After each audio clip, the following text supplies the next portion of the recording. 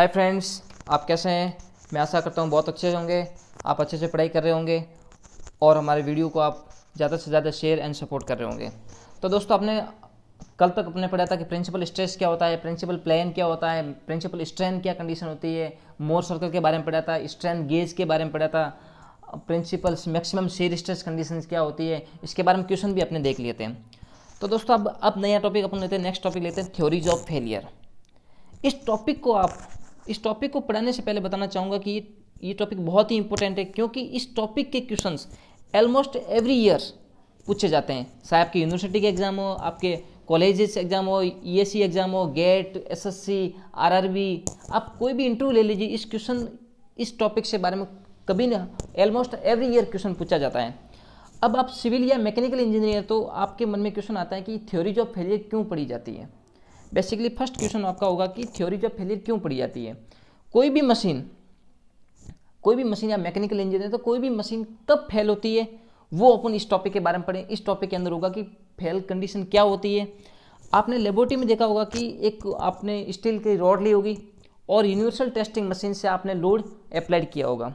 जैसे जैसे load applied किया, आपने नोटबुक में आपने स्ट्रेस एंड स्टैंड की वैल्यू आपने नोट कर ली। स्ट्रेस एंड स्टैंड की वैल्यू नोट कर दी। आपने देखा होगा कि वो पहले पहला स्ट्रेस कंडीशन आएगी यील्डिंग स्ट्रेस वहाँ पे वो डिफॉर्मेशन होने लगा और लास्ट में वो रप्चर हो जाता है, जहाँ पे उसके अल्टीमेट स्ट्रेस पे पहुँच जाता है। अब जब अल्टीमेट स्ट्रेस पे पहुँच जाता है तो आपने देखा होगा कि वहाँ पे एक्शियल स्ट्रेस ही है, वहाँ पे एक ही डायरेक्शन में स्ट्रेस है तो आपको पता चल जाता है। लेकिन कभी कभी मेटेरियल में ऐसी ऐसी स्थिति आ जाती है कि वहाँ पे एक्स वाई जेड तीनों डायरेक्शन में स्ट्रेस लग रहे हैं एंड स्ट्रेन लग रहा है। वहाँ पे कॉम्प्लेक्स स्थिति बन जाती है।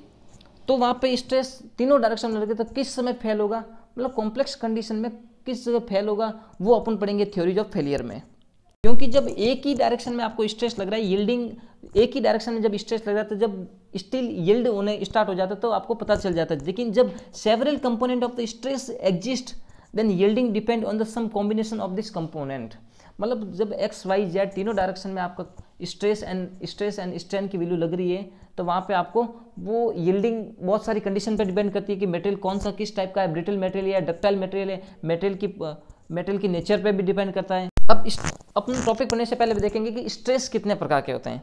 स्ट्रेस आपने पहले वैसे बेसिकली पढ़ चुके हैं कि नॉर्मल स्ट्रेस शेयरिंग स्ट्रेस अब यहाँ पे बात करेंगे कि स्ट्रेस किस स्ट्रेस पे फेल होता है। तो सबसे पहले बात करेंगे यील्डिंग स्ट्रेस और दूसरी बात करेंगे यहाँ पे अल्टीमेट स्ट्रेस और कभी कभी आपने क्वेश्चन में भी देख लिखा हुआ मिलेगा कि अलाउबिंग अलाउबल स्ट्रेस अलाउबल स्ट्रेस का मतलब आपको वहाँ पे लिमिट दे रखे कि इसके बाद वो मेटेरियल फेल हो सकता है।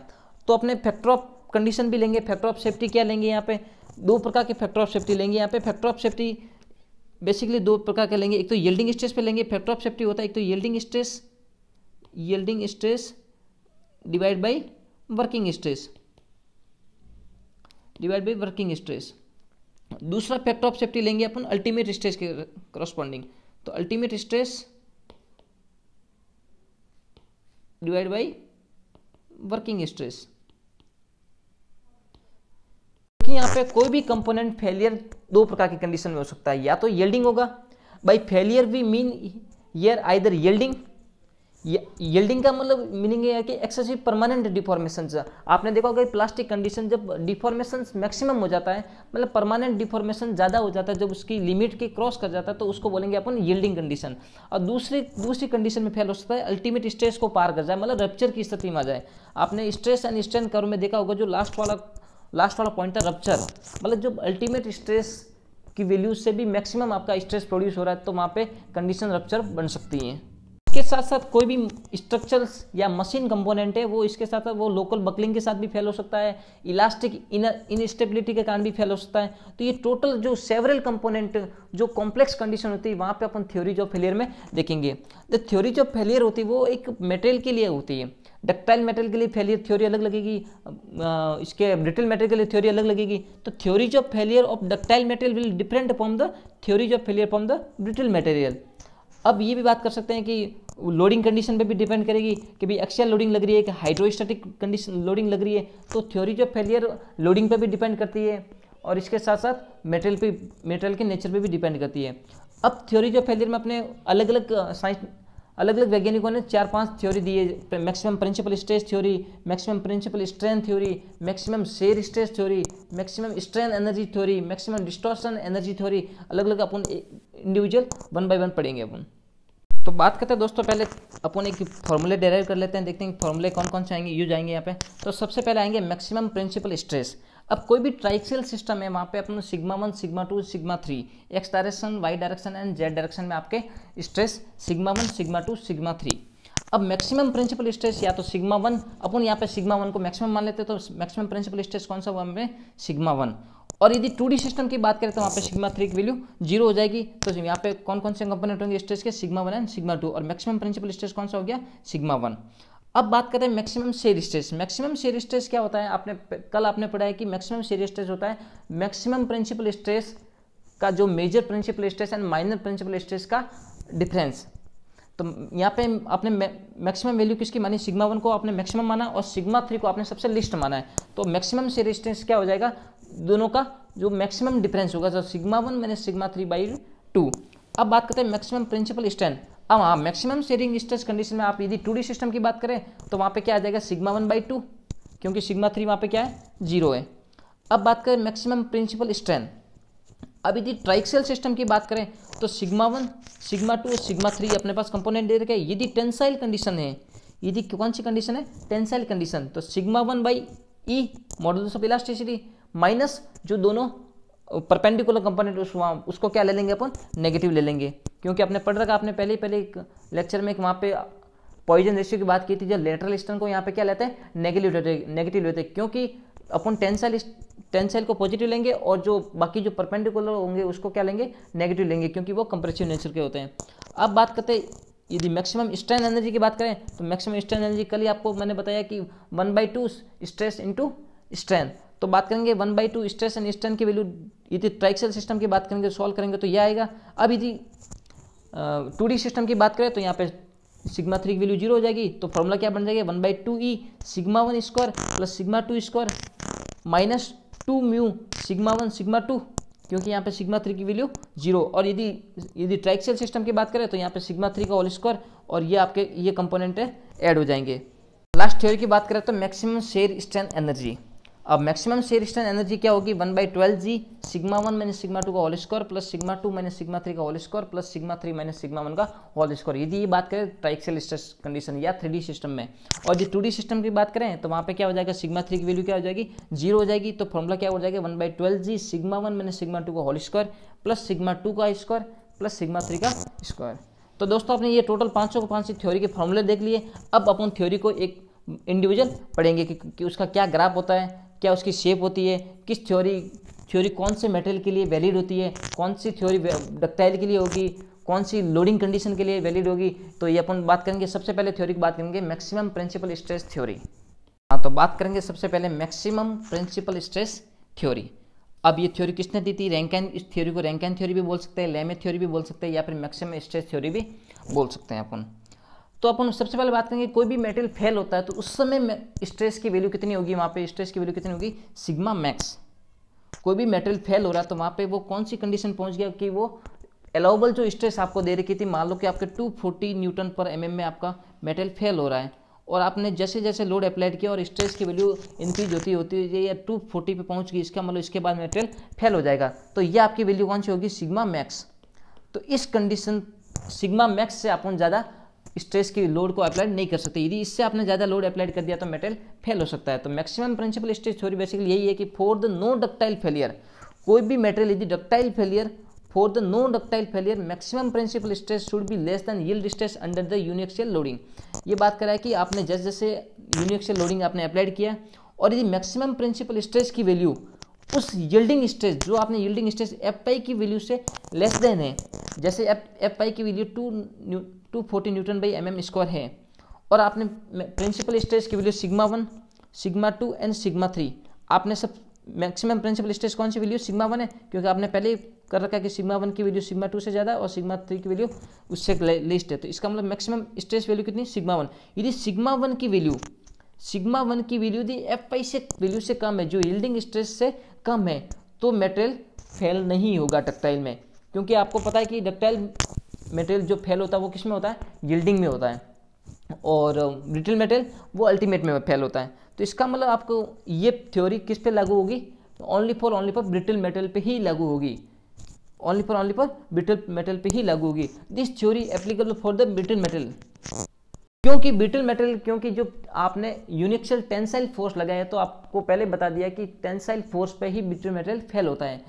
Brittle metal fail under the tension leading to fractures ductile material fail क्यों नहीं होगी? क्योंकि डक्टाइल मेटेरियल हमेशा किसमें फेल होता है? शेयर में फेल होता है। तो हाँ तो प्रिंसिपल स्ट्रेस थ्योरी में भी एक क्वेश्चन अपना रह गया था कि वो प्रिंसिपल स्ट्रेस थ्योरी ये प्योर शेयर कंडीशन में भी वैलिड नहीं होगी। क्योंकि यदि प्योर शेयर स्ट्रेस कंडीशन की बात करें प्योर शेयर कंडीशन की बात करें तो वहाँ पे प्रिंसिपल स्ट्रेस की वैल्यू क्या हो जाती है? टो हो जाती है वैल्यू और टो वैल्यू हो जाती है, इसका मतलब और जबकि डक्टाइल मेटेरियल होता है, उसकी मैक्सिमम से मैक्सिमम लिमिट कितनी होती है? टू बाई रूट थ्री मतलब point five seven two. Point five seven F by या टू या एफ़ बाई कह सकते हैं। जबकि वहाँ पे अपन प्योर शेयर कंडीशन में वो स्ट्रेस की वैल्यू कितनी हो जाएगी? टू हो जाएगी और इसके कारण से वो भी वैलिड नहीं होगी। अब बात करते हैं maximum principal strength theory. Maximum principal strength theory. इसको सेंट विनेट थ्योरी भी बोलते हैं। सेंट विनेट थ्योरी भी बोलते हैं आप। इस थ्योरी के अकॉर्डिंग यदि कोई भी मटेरियल कोई भी मटेरियल फेलियर कब नहीं होगा कि जब मैक्सिमम प्रिंसिपल स्ट्रेंथ की वैल्यू होगी वो यील्डिंग स्टैंड वैल्यू से लेस देन होगी। अब यील्डिंग स्टैंड वैल्यू की कितनी होगी? F I by modulus elasticity और प्रिंसिपल स्टैंड की वैल्यू क्या होगी? जो आपने अपने पढ़ा है कि सिग्मा वन आपने सिग्मा वन को क्या माना? मैक्सिमम माना तो sigma one minus mu sigma two plus में sigma three by modulus elasticity अब सिग्मा वन और ई e से ये आप कैंसिल आउट कर दो। Sigma one minus mu sigma two plus sigma three की वैल्यू लेस देन यदि यील्ड स्ट्रेस से वैल्यू लेस देन है तो वो मेटेरियल वो फेल नहीं होगा। ये थ्योरी भी ब्रिटल मेटेरियल के लिए ही वैलिड है। इस थ्योरी को आप overestimate the elastic strength of ductile material मतलब किसी डक्टाइल मटेरियल के लिए ओवर एस्टिमेट थ्योरी भी बोल सकते हैं इसको। अब ये कंडीशन बात करें, अपन किसी लोडिंग कंडीशन की बात करें कि यहाँ पे हाइड्रोस्टेटिक स्ट्रेस कंडीशन आ जाए। यहाँ पे लोडिंग की एक्स डायरेक्शन में वाई डायरेक्शन में जेड डायरेक्शन में, यदि वैल्यू सेम है हाइड्रोस्टेटिक कंडीशन का मीनिंग होता है कि X direction Y direction and Z direction में लोडिंग सेम हो। सेम नेचर के हो तो यदि sigma one sigma two sigma three sigma one equal to sigma two equal to sigma three की वैल्यू आपने पी इक्वल आपने इक्वल वैलिड कर दी, ठीक है? तो यहाँ पे अपन वैल्यू पुट कर देंगे तो पी माइनस में म्यू अपन में टू पी लेस देन तो एफ़ पाई आपकी यील्डिंग स्ट्रेस तो पी आपको वन माइनस में two mu less than F pi तो यहाँ पे लोडिंग की वैल्यू क्या हो जाएगी? एफ़ पाई अपन में वन माइनस में टू म्यू अब बात करें स्टील के लिए म्यू की वैल्यू होती है ज़ीरो पॉइंट टू फाइव और आप वैलिड आप इस वैल्यू में पुट कर दो ज़ीरो पॉइंट टू फाइव रखोगे तो ये क्या हो जाएगी पॉइंट फाइव तो one minus point five point five और इस पी की वैल्यू कितनी हो जाएगी टू एफ़ बाई जबकि आप जानते हो कि कोई भी मटेरियल की जो मैक्सिमम वैल्यू कितनी होती है F Y by root three इसका मतलब इस वैल्यू से, इस वैल्यू से ज़्यादा आ जाएगी स्ट्रेंथ की वैल्यू तो ये ये भी उसके लिए भी वैलिड नहीं होगा। हाइड्रोस्टेटिक कंडीशन के लिए भी वैलिड नहीं होगा। अब बात करते हैं प्योर शेयर कंडीशन की। प्योर शेयर कंडीशन में बताया था आपको प्रिंसिपल स्ट्रेस की वैल्यू क्या होती है? एक तो मेजर प्रिंसिपल स्ट्रेस की वैल्यू टो मान लेते हैं अपन और माइनर प्रिंसिपल स्ट्रेस की वैल्यू क्या हो जाएगी? माइनस टो इस वैल्यू इस फॉर्मूले में पुट कीजिए आप सिग्मा वन की वैल्यू टू पुट कर दीजिए और सिग्मा टू की वैल्यू माइनस टू पुट कर लीजिए। प्योर शेयर कंडीशन में आप two D two D system की बात करें तो सिग्मा थ्री यहाँ पे क्या हो जाएगा? ज़ीरो हो जाएगा। तो यहाँ पे क्या हो जाएगा फॉर्मूला? टू माइनस म्यू और सिग्मा टू की वैल्यू क्या यहाँ पे? माइनस का टू। क्या वैल्यू? माइनस का टू। तो टोटल टू की वैल्यू कितनी हो जाएगी? एफ़ पाई अपन में वन प्लस में म्यू। वन प्लस में म्यू। अब म्यू की कुछ वैल्यू मैक्सिमम कितनी है? स्टील की पॉइंट टू फाइव। तो वन पॉइंट टू फाइव। जबकि आपको बता रखा है कि डक्टाइल मटेरियल जो या प्योर शेयर कंडीशन होती है, उसकी मैक्सिमम वैल्यू कितनी होती है? F pi by root three इसका मतलब ये मैक्सिमम इससे क्रॉस कर जाएगा तो इसके लिए भी वैलिड नहीं होगा। अब बात करते हैं मैक्सिमम शेयर स्ट्रेस थ्योरी अब नाम से पता चल रहा है कि शेयर स्ट्रेस थ्योरी इसका मतलब ये किसके लिए वैलिड होगी? डक्टाइल मटेरियल के लिए वैलिड होगी। क्योंकि डक्टाइल मटेरियल फेल किसमें होता है? शेयर स्ट्रेस में होता है मैक्सिमम जहाँ पे मैक्सिमम शेयर स्ट्रेस लगता है, वहाँ पे डक्टाइल मेटल फेल होता है, जबकि ब्रिटल मेटल नॉर्मल स्ट्रेस में फेल होता है। ब्रिटल मेटल किसमें फेल होता है? नॉर्मल स्ट्रेस में। मैक्सिमम शेयर स्ट्रेस थ्योरी इसको गेस्ट थ्योरी भी बोलते हैं गुलाम थ्योरी भी बोलते हैं गुलाम थ्योरी भी बोलते हैं। तो मैक्सिमम शेयर स्ट्रेस कोई भी, ये आपको यूनिक्सल लोडिंग लग रही है, जहाँ पे ओनली फॉर टेंसाइल या कंप्रेसिव लोडिंग लग रही है, वहाँ पे मैक्सिमम शेयर स्ट्रेस क्या होगी? एफ़ वाई बाई टू क्योंकि वहाँ पे ओनली फॉर एक, ही स्ट्रेस लग रही है। वहाँ पे कौन सी स्ट्रेस होगी? यील्डिंग स्ट्रेस है कंप्रेसिव में हो चाहे टेंसाइल में हो। अब बात करती है ट्राइक्सिल स्ट्रेस अब मेटेरियल में आप X direction Y direction Z direction में तीनों स्ट्रेस लगेगी। अपन यहाँ पे बात करें थ्योरी ऑफ़ फेलियर की, इसका मतलब वहाँ पे तीनों कंडीशन लगेगी, जहाँ पे X direction Y direction Z direction कोई भी कंडीशन आ सकती है वहाँ पे। या तो एक्स वाई कंडीशन हो सकती है, जहाँ पे जेड प्रेजेंट नहीं हो एक्स जेड कंडीशन आ सकती है, केवल एक्स डायरेक्शन आ सकती है, केवल वाई आ सकती है, केवल जेड आ सकती है एक्स जेड आ सकती है वाई जेड आ सकती है एक्स जेड आ सकती है, कोई भी कंडीशन एक कॉम्प्लेक्स कंडीशन आ सकती है। अपने पास मैक्सिमम सीरीज़ कितनी है? एफ़ वाई बाई टू और अपने मैक्सिमम शेयर स्ट्रेस कितनी आ सकती है? यदि कोई मेटेरियल को फेल नहीं होना है तो कोई भी मेटेरियल को फेल नहीं होना तो वो कितनी कंडीशन से sigma max minus sigma minimum by two या फिर सिग्मा मैक्स बाई टू या फिर सिग्मा मिनिमम बाई टू इन तीनों की वैल्यू जो आपकी, तीनों की वैल्यू जो एलोबल स्ट्रेस आपको दे रखी है एलोबल मैक्सिमम शेयर स्ट्रेस से कम होनी चाहिए। इन तीनों की वैल्यू इसकी वैल्यू इसकी वैल्यू इसकी वैल्यू इससे कम होनी चाहिए। तो वैल्यू तो मेटेरियल ये फेल नहीं होगा। अब बात करते हैं हाइड्रोस्टेटिक कंडीशन की। हाइड्रो हाइड्रोस्टेटिक कंडीशन में आपको बता रखा है कि वहाँ पे X direction Y direction and Z direction में लोडिंग की वैल्यू सेम होगी। लोडिंग की डायरेक्शन भी सेम होगी। तो जैसे मान लिया आपने sigma max and sigma minimum की वैल्यू आपने किस किसके इक्वल टू मान लिया? पी के इक्वल मान लिया। इस वैल्यू का आप इसमें पुट करोगे। इसमें पुट करते क्या आ जाएगी? टू मैक्सिमम की वैल्यू कितनी हो जाएगी? ज़ीरो हो जाएगी। तो इसका मतलब इस पर भी वैलिड नहीं होगी। क्योंकि टू मैक्सिमम की वैल्यू ज़ीरो के लिए वैलिड नहीं होगी ये। अब बात करते हैं ब्रिटल मेटेरियल के लिए वैलिड नहीं होगी और ओनली फॉर ओनली फॉर किसके लिए वैलिड होगी इसको? डक्टाइल मेटेरियल के लिए ही वैलिड होगी ये। अब बात करते हैं maximum strain energy theory maximum strain energy theory जब आप किसी भी मेटेरियल पे लोड अप्लाइड करते हो तो वहाँ पे स्ट्रेस एंड स्ट्रेस क्या होता है? जनरेट होते हैं या प्रोड्यूस होते हैं। तो इलास्टिक लिमिट तक कितनी एनर्जी आप, कितनी एनर्जी मेटेरियल एब्जॉर्व करता है, उसको क्या बोलते हैं? मॉड्यूल्स ऑफ़ रेजिलेंस या फिर total strength energy absorbed at limit of elastic condition per unit volume उसको बोलेंगे रेजिलेंस तो total strength energy per unit volume क्या लिखेंगे? One by two sigma one into strength एक बटा दो स्ट्रेस इंटू स्ट्रेंथ आप यदि ट्राइक्सल कंडीशन है तो वहाँ पे तीनों कंडीशन आ जाएगी। एक्स डायरेक्शन में वाई डायरेक्शन में जेड डायरेक्शन में तीनों स्ट्रेस कंडीशन आप लिखोगे तो यहाँ पे डायरेक्टली फॉर्मुला बन जाएगा आपका। One by two E sigma one का स्क्वायर प्लस सिग्मा टू का स्क्वायर प्लस सिग्मा थ्री का square minus two mu sigma one sigma two plus sigma two sigma three and sigma one plus में sigma three क्योंकि आप पे स्टैन क्या लिखोगे यहाँ पे एक्स डायरेक्शन में? सिग्मा वन अपॉन में ई e माइनस में सिग्मा टू प्लस में सिग्मा थ्री म्यू ये वैल्यू आप पुट कर दोगे यहाँ पे। One by two X direction में स्ट्रेस इंटू एक्स डायरेक्शन में स्ट्रेन, ये हो जाएगी। और यहाँ पे यदि वाई डायरेक्शन में आपको स्ट्रेन लिखनी तो यहाँ पे क्या हो जाएगी? सिग्मा टू अपन में ई माइनस में सिग्मा वन प्लस में सिग्मा टू अपन में ई इंटू म्यू। इसी प्रकार में जेड डायरेक्शन में तो डायरेक्टली आपको फॉर्मुला याद रख सकते हैं कि total strain energy per unit volume क्या हो जाएगी? ये। अब कोई भी मेटेरियल में maximum strain energy per unit volume under तो यूनिक्सियल लोडिंग कंडीशन में क्या हो जाएगी? सिग्मा वाई या फिर F Y by square one by two E. F Y square by two E. अब मेटेरियल को सेफ़ रखना है तो जो मैक्सिमम स्ट्रेंथ एनर्जी है और जो आपका लोडिंग के कारण लग रही है स्ट्रेंथ एनर्जी वो उससे वैल्यू कम होनी चाहिए। तो ये कंडीशन इसकी वैल्यू इस वैल्यू से क्या होनी चाहिए? कम। तो one by two sigma one का होल स्क्वायर प्लस में sigma two square plus sigma three square minus two mu sigma one sigma two sigma two sigma three plus में सिग्मा वन सिग्मा थ्री इसकी value किससे, इससे less होनी चाहिए। ये ट्राइक्सल condition में हो गया। यदि यहाँ पे टू सिस्टम है तो सिग्मा थ्री की वैल्यू आप एलिमिनेट कर सकते हो। सिग्मा थ्री सिग्मा थ्री की वैल्यू यहाँ पे ज़ीरो कर सकते हैं, फिर डायरेक्टली फॉर्मूला आप one by two E, sigma one का स्क्वायर प्लस सिग्मा टू का square, minus two mu, sigma one, sigma two. तो ये कंडीशन हो जाएगी। ये थ्योरी की बात करें तो ये ओनली फॉर किसके लिए वैलिड होगी? डक्टाइल मेटेरियल के लिए ही वैलिड होगी और ब्रिटल मेटेरियल के लिए वैलिड नहीं होगी। अब तीसरी कंडीशन बात करें यहाँ पे कि प्योर शेयर कंडीशन के लिए लागू होगी कि नहीं होगी? तो आगे देखते हैं कि प्योर शेयर कंडीशन के लिए क्या क्या कंडीशन होती है, अभी देखते हैं। तो अब बात करेंगे प्योर शेयर शेयर कंडीशन के बारे में। तो आपको बताया कि प्योर शेयर कंडीशन में प्रिंसिपल स्ट्रेस की वैल्यू क्या हो जाती है? एक की वजह टू हो जाती है, दूसरे की हो जाएगी माइनस टू आपको मेजर प्रिंसिपल स्ट्रेस की वैल्यू हो जाएगी टू और मिनिमम प्रिंसिपल स्ट्रेस की वैल्यू हो जाएगी माइनस टू तो फॉर्मूले में आपको स्टेन एनर्जी की फॉर्मूला था कि sigma one square plus sigma two square minus में minus two mu sigma one, sigma two, less than क्या होना चाहिए? एफ़ पाई स्क्वायर के इक्वल होना चाहिए। तो सिग्मा वन की जगह आप टो रख दोगे, सिग्मा टू की जगह माइनस टो रख दोगे तो फॉर्मूला क्या आप क्या बन जाएगा? टो स्क्वायर प्लस में tau square, minus two mu, minus two mu, tau into minus tau तो माइनस टो माइनस टो क्या बन गया? प्लस बन गया। तो लेस देन क्या होना चाहिए? एफ़ वाई का स्क्वायर हो जाएगा। तो आप इसको पूरा सॉल्व करोगे तो ये हो जाएगा फॉर्मूला आपके लास्ट फॉर्मूला क्या हो जाएगा? ये हो जाएगा। अब स्टील के लिए म्यू की वैल्यू कितनी होती है? पॉइंट टू फाइव तो पॉइंट टू फाइव वैल्यू रखोगे तो यहाँ पे टो की क्या वैल्यू जाएगी?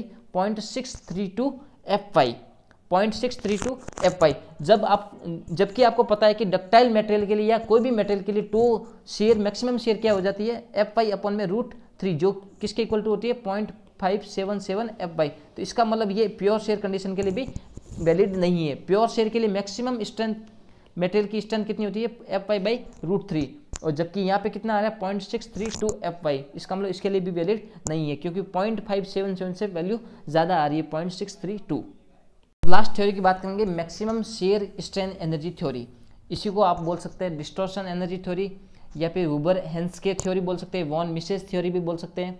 इसका मतलब ये थ्योरी बात करता है कि maximum shear strain energy in the body should be less than या equal to maximum strain energy under the uniaxial loading आप बात करते हैं कि आप यूनिक्सल लोडिंग लगा रहे हैं तो वहाँ पे कितनी मैक्सिमम शेयर स्ट्रेन एनर्जी आई?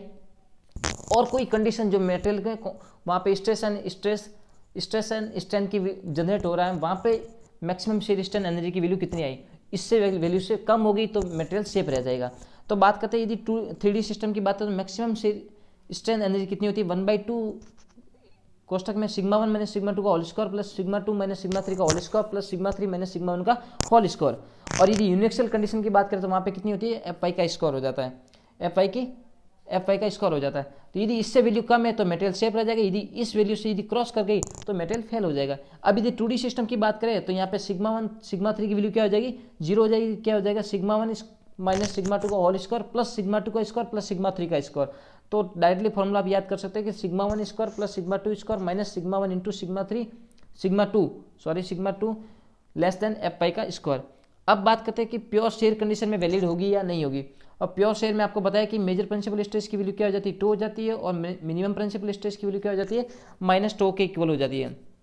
ये वैल्यू आप पुट करो यहाँ पे तो टो का स्कोर हो जाएगा, यहाँ पे माइनस टो का स्कोर मतलब वही टो का स्कोर माइनस ये टो इंटू माइनस टो तो ये क्या हो जाएगा? प्लस में टो का स्क्वायर तो थ्री से टो का square less than F I square और टू लेस देन किसका हो जाएगा? F I by root three और आपको पता है कि प्योर शेयर कंडीशन में मेटेरियल की मैक्सिमम स्ट्रेंथ कितनी होती है? F I by root three ही होती है। इसका मतलब ये थ्योरी ही प्योर शेयर कंडीशन के लिए वैलिड होगी। बाकी अपने जो चार थ्योरी पढ़ी है, वो प्योर शेयर कंडीशन के लिए वैलिड नहीं होती है। ओनली ओनली फॉर यही प्योर शेयर कंडीशन के लिए वैलिड होगी। सब थ्योरी पढ़ने के बाद में अपन एक उसका कंक्लूजन निकालते हैं कि जो मैक्सिमम शेयर स्टेज थ्योरी आपने पढ़ी थी मैक्सिमम शेयर स्टेज थ्योरी वो सबसे मोस्ट कंजर्वेटिव थ्योरी होती है। यदि क्वेश्चन पूछा जाए कि मोस्ट कंजर्वेटिव थ्योरी कौन सी है तो मैक्सिमम शेयर स्टेज थ्योरी आपको कहना है। और यदि डक्टाइल मेटेरियल के लिए बेस्ट थ्योरी कौन सी रहेगी तो मैक्सिमम डिस्टोर्शन एनर्जी थ्योरी जो अपने सबसे लास्ट में पढ़ी थी, जो प्योर शेयर कंडीशन वाली है प्योर शेयर कंडीशन के लिए ही डक्टाइल मेटेरियल आपको फेल होता है। इसका मतलब डक्टाइल मेटेरियल के लिए सबसे बेस्ट थ्योरी रहेगी, वो रहेगी मैक्सिमम डिस्टोशन एनर्जी थ्योरी में। या फिर इसको maximum shear strength energy theory भी बोल सकते हैं। अब बात करिए यदि ब्रिटल मेटेरियल के लिए सबसे बेस्ट थ्योरी रहेगी, वो मैक्सिमम प्रिंसिपल स्ट्रेस थ्योरी रहेगी, क्योंकि वहाँ पर डक्टाइल का कुछ रोल नहीं होता, वहाँ पे ओनली पर नॉर्मल स्ट्रेस एक्ट करती है।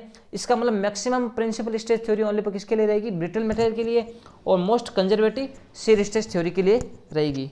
तो दोस्तों, आज के लिए इतने अब नेक्स्ट पढ़ेंगे अपन बेंडिंग स्ट्रेस इन बीम और shear stress and beam thank you